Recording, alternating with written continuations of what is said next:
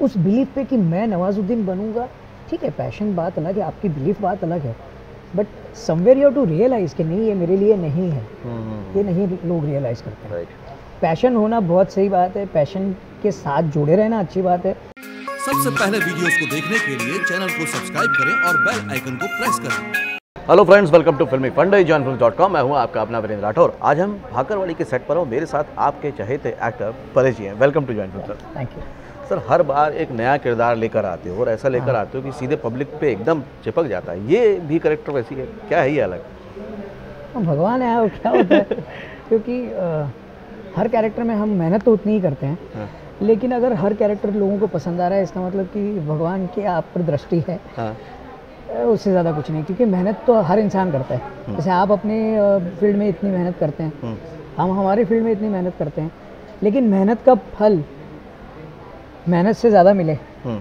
तो वो तो भगवान की कृपा दृष्टि है और कुछ नहीं लेकिन आप इतने सालों से कलाकारी कर रहे हैं इतने हाँ। कैरेक्टर अलग अलग किए उसका इस करेक्टर को कैसे अलग किया कि ये थोड़ा सा पहले से डिफरेंट लगे देखिए जब ये कैरेक्टर आया जनरली होता क्या है कि लोग क्योंकि मैं गुजराती हूँ लोग बोलते हैं आप गुजराती कैरेक्टर के लिए हाँ। आप ऐप्ट हो आप गुजराती कैरेक्टर कीजिए तो पहले परिभाषा जो होती थी गुजराती कैरेक्टर की वो थोड़े लाउड होते हैं थोड़े प्रिंटेड कपड़े पहनते हैं थोड़े जैजी होते हैं लुक उनकी वैसी होती है थोड़े से ओवर द टॉप होते हैं। सो जब आतिश जी और जे जी ने मुझे ये कैरेक्टर के बारे में कहा मैंने कहा कि इसको डिफरेंट करते हैं इसको गुजराती फ्लेवर नहीं देते हैं। अच्छा। चाहे ये गुजराती है लेकिन उसकी हिंदी साफ़ होगी। ओके। क्योंकि कपड़े जो लोगों के दिमाग में है वैसे कपड़े नहीं रखते हैं। ओके। हो सकता है कि जब आप आप गुजराती हो या आप बंगाली हो या आप महाराष्ट्रियन हो तो जब आप डिफरेंट लैंग्वेज बोलते हो तो कहीं ना कहीं आपके एक आध दो वर्ड या एक आध दो सेंटेंस आपके मदर टंग में आ जाते हैं। मैं तो हम जब ये कैरेक्टर करेंगे तो हो सकता है कि कहीं एक आधा वर्ड या एक आधी लाइन जो है वो गुजराती में आ जाएगी। लेकिन उसकी हिंदी बहुत साफ़ रहेगी ना कि जैसे लोगों ने प्रोजेक्ट किया जैसे लोगों के दिमाग में एक इमेज है वैसी रहे। ओके सो इस तरह से कैरेक्टर को थोड़ा सा डिफरेंट करने की कोशिश की है even look wise even the kind of language we speak okay कि उसको हिंदी उसकी थोड़ी सी साफ़ रखते हैं। हाँ हाँ। जहाँ लगे कि हस्बैंड वाइफ बात कर रहे हैं तो वहाँ पे एक आधा गुजराती वर्ड आ गया है गुजराती चल जाता है। अगर डोबी है तो डोबी। सो ये जो है वो टिपिकल गुजराती लोग घर में बोलते हैं। तो हमने कहा कि उसको यूज़ करेंगे। कहीं कहीं एक दो वर्ड कहीं एक सेंटेंस लेकिन ज़्यादातर हिंदी रखेंगे और हिंदी बहुत साफ़ रखेंगे। तो थोड़ी सी उस तरह से कोशिश की है। और उसको थोड़ा सा अंडरप्ले भी किया गया है। अच्छा। ज़्यादा उसको जनरली क्या होता है कि लोग ऐसा बोलते हैं कि कॉमेडी है तो थोड़ा सा लाउड करो हाँ, थोड़ा हाँ। सा। सिचुएशन के हिसाब से अगर आप बिहेव करते हैं तो उसमें लाउड करने की ज़रूरत नहीं होती। राइट ना आप उसको अगर सटल करोगे तो ज़्यादा बेहतर रहेगा। हाँ हाँ। बिकॉज़ हर बार आप लाउड करते हैं तो लोगों को लगता है यार ये बड़ा ऑटोनोमस बहुत ज़्यादा हो रहा है। और लोग क्योंकि लोगों का टेस्ट बदल रहा है हम अगर उस टेस्ट के हिसाब से नहीं चलेंगे तो लोगों को पसंद नहीं आएगा। हम्म हम्म। लोग आज इतना सारा काम लोगों का देख रहे हैं अदर प्लेटफॉर्म पे। अगर आप टीवी कर रहे हैं कोई भी माध्यम में आप काम कर रहे हैं अगर आप रेलिवेंट नहीं रहेंगे ना तो लोगों को पसंद नहीं आएगा। ओके सो रेलिवेंट रहने के लिए भी हम्म। आपको अपनी परफॉर्मेंस स्टाइल थोड़ी सी अपडेट करते चेंज करती रहनी चेंज करते रहना चाहिए। दैट इज़ हाउ हम थोड़ी सी वो कोशिश करते हैं कि थोड़े से रेलिवेंट रहें Okay. ताकि लंबा चले और लोगों को पसंद आए लोगों को एंटरटेन करते तो आप इतना सोचते हैं इसलिए पब्लिक भी उसको पसंद करी क्योंकि आप थोड़ा अलग अलग फ्लेवर हर बार देते जाते हैं। हाँ। आपने फ़िल्में भी की आपने थिएटर भी किया आपने हाँ। टीवी भी किया आप हर जगह काम कर रहे हैं। हाँ। कैसे मैनेज होता है इतना सब कुछ? देखिए फिजिकली तो एक ही जगह पे प्रेजेंट हो सकते हैं। राइट लेकिन ये है कि अ, मैंने जहाँ भी काम किया मैं एकदम क्लियर रहता हूँ मेरे प्रोफेशनल डीलिंग से कि अगर जहाँ अगर मैं टेलीविज़न करता हूँ तो टेलीविज़न में दो कंडीशंस ये रहती हैं कि मैं पूरे थर्टी डेज़ नहीं करूँगा और मैं सारी फ़िल्में या दूसरा काम आएगा वो भी नहीं करूँगा। लेकिन कुछ इंटरेस्टिंग आएगा। मुझे लगता है कि मुझे ये करना है तो मैं आपको रिक्वेस्ट करूँगा कि प्लीज़ मुझे एडजस्ट कीजिए। अगर कर सकते हैं तो मैं वो काम करना चाहूँगा। ओके सो इनफैक्ट मैंने जहाँ भी काम किया दे बिन सो नाइस टू मी कि अच्छा परेश भाई जनरली इतना पूछते नहीं हैं कि मुझे काम आते रहते हैं लेकिन मैं हर काम के लिए प्रोड्यूसर के पास नहीं जाता हाँ हाँ। कि यार मुझे ये करना है मुझे वो करना है। क्योंकि जब आप एक काम करते हो तो आपको दस काम आते हैं। और जब काम नहीं होता है तो दस काम नहीं एक भी काम नहीं आता। तो ये ये होता है सबके साथ होता है। तो मैं जनरली बहुत क्लियर रहता हूँ मेरे प्रोडक्शन टीम के प्रोडक्शन से टीम से। कि मुझे अगर इंटरेस्टिंग लगेगा तो ही मैं आपसे रिक्वेस्ट करूँगा। अगर नहीं कर पाते हैं उनकी भी मजबूरियाँ होती हैं। तो समझते हैं क्या चलो लेकिन जब हो सकता है तो कर- करते हैं। तो इतने सालों बाद भी आप इतने पैशनेट हैं कि अभी भी नया नया काम ढूंढते रहते हैं क्यों नहीं? और एक बात आपसे एक और मुझे जो पर्सनली पूछनी हाँ। कई फ़िल्मों में आप सिर्फ़ एक या दो सीन के लिए आए हाँ लेकिन वो भी एकदम रजिस्टर हो जाता है।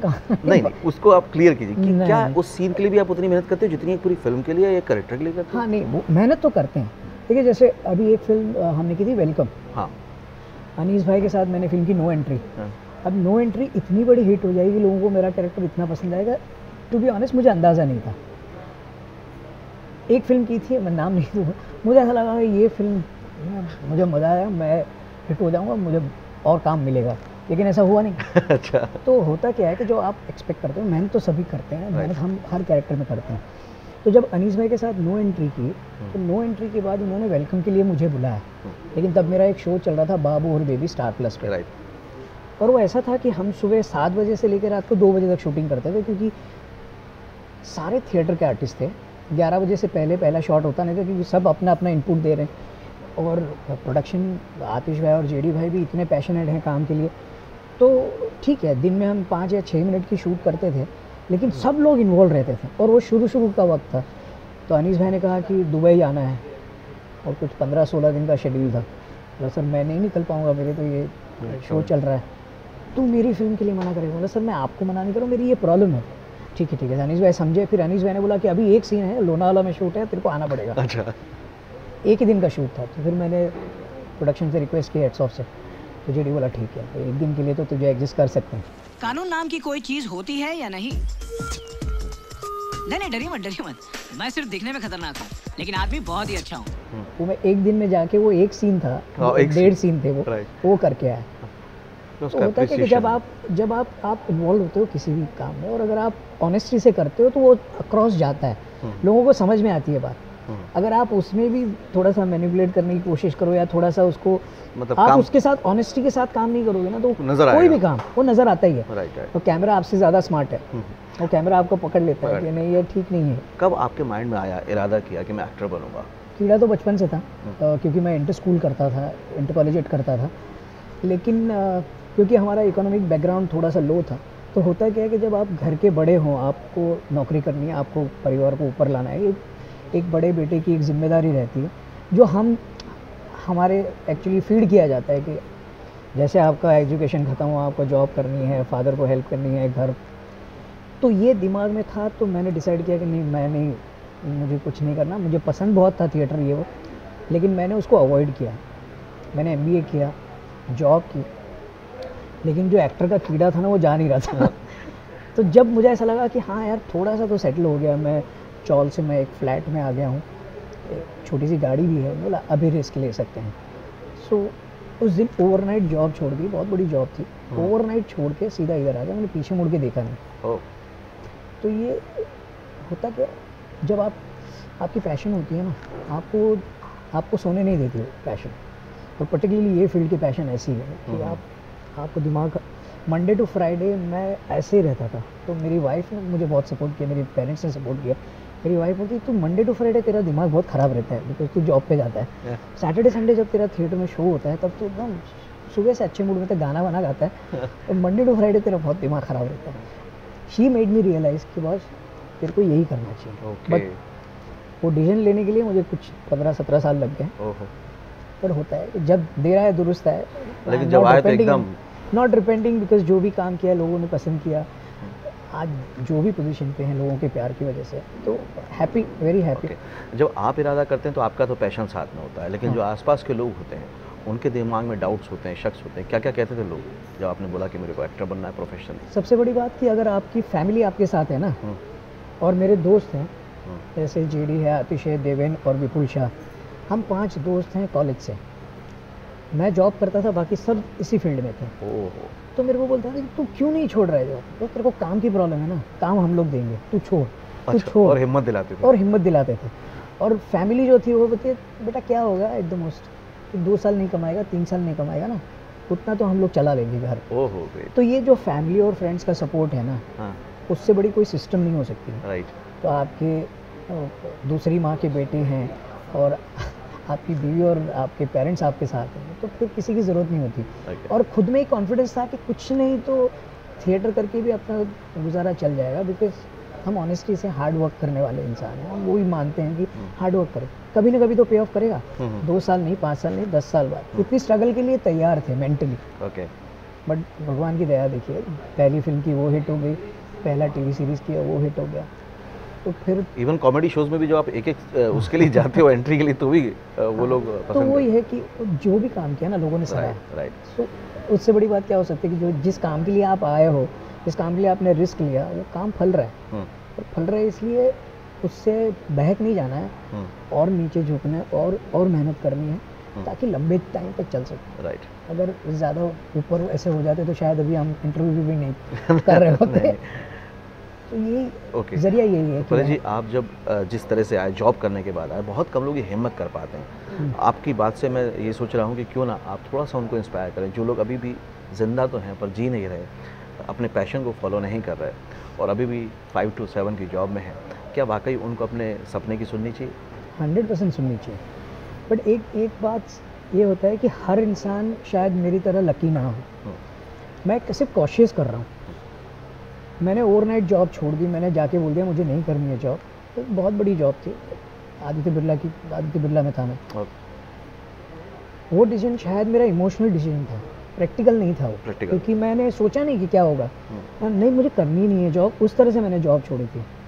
बट आई वॉज़ लकी कि मैंने जो काम किया सक्सेसफुल रहा उसके बाद मुझे जो काम आया वो भी सक्सेसफुल रहा। राइट हर इंसान जो पैशन अपनी पैशन लेके जीता है वो जॉब कर रहा है वो नाइन टू फाइव कर रहा है उसको छोड़ना है छोड़ नहीं पाता। अगर छोड़ने के बाद सक्सेसफुल ना हो उस पैशन में I would suggest give yourself some time not more time some time समझो आपने डिसाइड किया मैं 25 साल का हूँ 27 साल का हूँ यार मैं तीन साल दूँगा अपने आप को।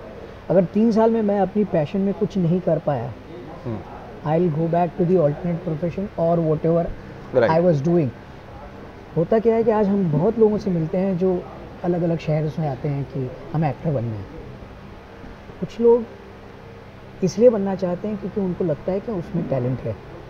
कुछ लोग इसलिए बनना चाहते हैं कि उनको ये सब बहुत अच्छा लगता है। ग्लैमर और कुछ लोग इसलिए बनना चाहते हैं कि नहीं मेरे बाप के पास पैसा है कुछ करना चाहता हूँ। हम्म, ये कैटेगरी वाइज जो है ना उसमें जो सबसे निचला कैटेगरी वाला ना वही बंदा होता है जो पैशनेट होता है। राइट राइट राइट बाकी तो होता है कि ठीक है ना नहीं हुआ तो चले जाएँगे।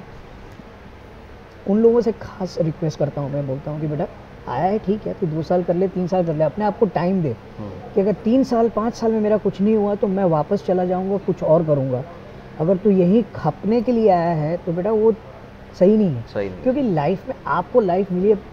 आप पचहत्तर साल आप लाइफ एक्सपेक्टेंसी आप पच्चीस साल के हैं पचास साल आपकी लाइफ है। अगर आप पच्चीस साल यहीं गुजार दोगे कुछ नहीं होगा आप फ्रस्ट्रेट होगे। Right right then you will not have time to go back आप रिवाइंड नहीं कर सकते टाइम को। राइट तो होता क्या है कि अपने आप को टाइम दो एक समझने वाली बात है कि नहीं यार या तो मेरे पास टैलेंट नहीं है या मुझे नहीं आता है मुझे नहीं करना चाहिए। ये समझ होनी बहुत ये रियलाइज़ नहीं होता लोगों नहीं होता। इसलिए लोग ज़्यादा फ्रस्ट्रेट होते हैं। हम देखते हैं जो एक दो दिन के काम के लिए आते हैं ना मैं जब उनको देखता हूँ मुझे बहुत परेशानी होती है कि मैंने यार इनको देखा दस साल पहले भी एक एक दिन के लिए काम के लिए आया था तो मैं उनको पूछता हूँ क्योंकि आपको रेगुलर काम नहीं मिल रहा नहीं मिल रहा है सर क्या करें? कुछ हो तो बताएँ। मतलब कितने साल हो गए? बोला दस बारह साल हो गए।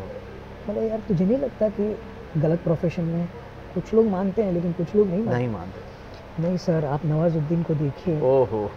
बोला सर नवाजुद्दीन पचास लाख में से एक आदमी नवाजुद्दीन बनता है। एक्सेप्शनल केस एक्सेप्शन केस को आप लेके उस बिलीफ पे कि मैं नवाजुद्दीन बनूँगा ठीक है पैशन बात अलग है आपकी बिलीफ बात अलग है but somewhere you to realize कि नहीं ये मेरे लिए नहीं है। हम्म। ये नहीं लोग रियलाइज़ करते हैं। राइट पैशन होना बहुत सही बात है। पैशन के साथ जुड़े रहना अच्छी बात है।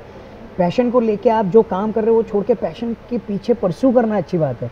लेकिन अगर वो नहीं हासिल हो रहा है तो एक सेकंड थॉट एक देना। सेकंड अल्टरनेट थॉट होना ज़रूरी है। ज़रूरी है। Otherwise you are wasting life आपके पास टाइम कितना है? राइट टाइम बहुत कम है सब लोगों के पास।